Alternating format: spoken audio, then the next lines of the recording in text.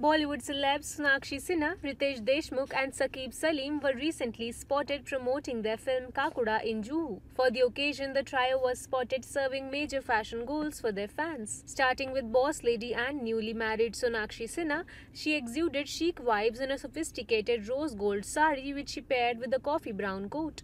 Sona served modern and fashion forward vibes in her latest appearance. She further enhanced her ensemble with gold jewelry, featuring a plain gold neckpiece and drop earrings. She amped up her look with metallic makeup and nude lips. Her latest look is rapidly going viral on social media. Riteish Deshmukh, on the other hand, looked fresh and dapper in a pastel pink and blue outfit.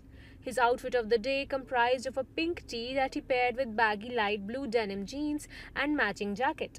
The cute part, however, were the pink brooches that elevated his outfit. Pairing his ensemble with sunglasses and white sneakers, he posed for pictures. Saqib Saleem looked handsome in a light pink shirt that he paired with white cargo pants. Saqib's shirt had a white printed hand that gave his outfit a funky Gen Z appeal. The color perfectly complemented his skin tone and his fans absolutely adore his latest appearance. Their latest video is rapidly going viral across social media. Let us tell you, Kakuda is a spooky comedy starring Riteish Deshmukh as Victor, Sonakshi Sinha as Indira, and Saqib Saleem as Sunny. Directed by Munjya fame Aditya Sarpotdar and produced by Ronnie Screwvala, the film promises a mix of laughs and chills in the cursed village of Ratodi.